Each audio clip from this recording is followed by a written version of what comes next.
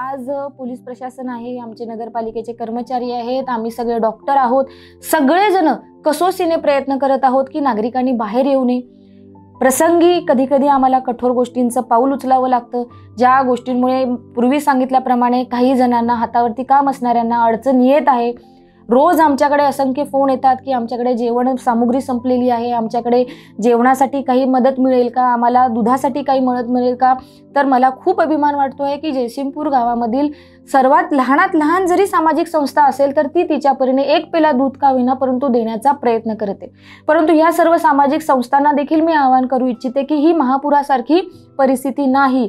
त्यामुळे महापुराच्या वेळेस आपण फील्डवरती जाऊन जे काम केलेलं आहे तेच काम आपण यावेळेस घरामध्ये थांबून सोशल डिस्टन्सिंग थांबून आपल्याला करायचं आहे. जर तुम्ही सामाजिक मदत करत असाल तर ती मदत करताना देखील तुम्ही खूप काळजीपूर्वक करायचं आहे. कारण त्या जर त्या ठिकाणी गर्दी झाली सोशल डिस्टन्सिंग पाळलं गेलं नाही त्या ठिकाणी एकमेकांना जर संक्रमण झालं तर आपल्याला आजार फैलावण्यापासून वाचवता येणार नाही आणि आपण केलेल्या मदतीमुळे फार मोठ्या प्रमाणात नुकसान होऊ शकतं. त्यामुळे मी पुनश्च एकदा तुम्हाला एकच गोष्ट कळकळीने सांगू इच्छिते की नगराध्यक्ष या नात्याने नाही किंवा लोकप्रतिनिधी याताना या नात्याने. तर तुमच्या कुटुंबाचा एक सदस्य म्हणून तुमची मुलगी समजा मला तुमची सून समजा मला तुमच्या घरातील एक म- नातेवाईक समजा आणि त्या नात्याने मी तुम्हाला हक्काने सांगते आहे की कृपा करून आत्तापर्यंत आपण ह्या आजारापासून खूप लांब राहिलेलो आहोत. आपल्या ग्रामीण भागामध्ये कोल्हापूर जिल्ह्यातील ग्रामीण भागामध्ये पेरिफ्रीमध्ये अजून फार मोठ्या प्रमाणामध्ये हा आजार आलेला नाही. जे काही रुग्ण सापडलेले आहेत ते मुंबई पुण्यावरनं आलेले आहेत लपून छपून आलेले आहेत किंवा कुठल्या तरी गाडीत बसून आलेले आहेत किंवा काही कारणास्तव आलेले आहेत असेच रुग्ण आपल्या जिल्ह्यामध्ये आहेत. त्यामुळे जर आपल्याला हा आजार पूर्णपणे थांबवायचा असेल तर आणि दोन महिने आपण मुंबई पुण्यातील नातेवाईकांना आग्रह करून या ठिकाणी न बोलवणे आपण देखील स्वतः स्वस्थ आणि सुरक्षित राहणे सर्वांना सुरक्षित ठेवणे ह्या सगळ्या गोष्टीच्या मध्ये आपण जर मनापासून ह्या सगळ्या गोष्टींचं पालन केलं तर नक्कीच आपण या लढाईला जिंकू शकतो.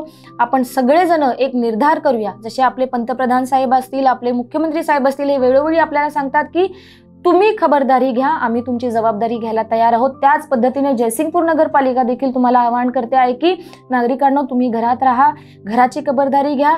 जयसिंगपूर नगरपालिका सक्षमपणे तुमची सर्वांची जबाबदारी घेते आहे आणि इथून पुढे देखील आपण अशाच पद्धतीने चांगल्या पद्धतीने काम करायचं आहे. येणाऱ्या भविष्य काळामध्ये शिरोळ तालुका असेल कोल्हापूर जिल्हा असेल या जिल्ह्यात आपल्याला कोविड नाईन्टीनसाठी कक्ष किंवा कोविड नाईन्टीनसाठी दवाखाने उभारण्याची गरजच पडणार नाही. या गोष्टीसाठी आपण संकल्प करूया. जर त्यातही कोणी त्या संक्रमणाचे तुम्हाला लक्षणं आढळली तुम्हाला काही त्रास आढळला तर त्वरित तुम्हाला जे नंबर्स दिलेले आहेत त्या सं संपर्क क्रमांकावरती आम्हाला संपर्क करा. तुम्ही घाबरून घरात बसू नका. साधा सर्दी खोकला ताप जरी असला तरी आमचे सगळ्यांचे नंबर्स तुम्हाला डिस्प्ले केलेले आहेत. आय एम ए जयसिंगपूर जे एम ए जयसिंगपूरने देखील त्यांचे कॉन्टॅक्ट नंबर तुम्हाला सगळ्यांना व्हॉट्सॲपमार्फत कळवलेले आहेत. सर्वसाधारण रोगांसाठी फोनवरती फ्री कन्सल्टेशन गेले महिना झाले आम्ही सगळे डॉक्टर देत आहोत. कुठलाही आजार असू दे न घाबरता आम्हाला कॉन्टॅक्ट करा. घाबरून हा आजार जाणार नाही आहे तर याला लढाई याला सकारात्मक गोष्टीने जर आपण तोंड दिलं तर नक्कीच आपण ह्यातनं बाहेर पडणार आहोत. आणि कुठल्याही पद्धतीने मनात भीती बाळगू नका की हा आजार झाला किंवा मी पॉझिटिव्ह आलेलो आहे म्हणून जर समाजात कळलं तर माझ्या माझ्यासाठी लोकांची कशी भावना असेल तर कधीही त्या गोष्टीसाठी कुणीच तुम्हाला त्रास देऊ शकणार नाही किंवा मनात काही बाळगणार नाही. कारण जर तुम्ही स्वतःहून पुढे येऊन सांगितलात तर तुमच्या एका पुढे येण्यामुळे आपण जवळजवळ चारशे लोकांना संक्रमित होण्यापासून वाचू शकतो. त्यामुळे आजार किंवा लक्षणं न लपवता निडरपणे आमच्यापर्यंत या. आणि जसं सद्गुरी पै म्हणतात की तूच आहेस तुझ्या जीवनाचा शिल्पकार. त्यामुळे ही उक्ती जर आपल्याला खरी खरी ठेवायची असेल आणि आपल्या निरोगी निरामय आरोग्याचा शिल्पकार जर आज आपल्याला व्हायचं असेल तर आपण सतसत विवेक बुद्धीने वागणं गरजेचं आहे.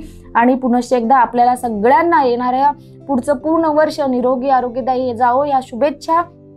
तुम्हाला देते ईशचरणी तशी प्रार्थना करते की हे ईश्वरा आम्हा सगळ्यांना सुबुद्धी दे आम्हाला सगळ्यांना चांगलं आरोग्य दे आणि आम्हाला सगळ्यांना या कठीण समयातून पुढे जात असताना सकारात्मक दृष्टिकोन आम्हाला तू प्रदान कर. आणि एवढं बोलणं मी बोलते आणि थांबते. धन्यवाद.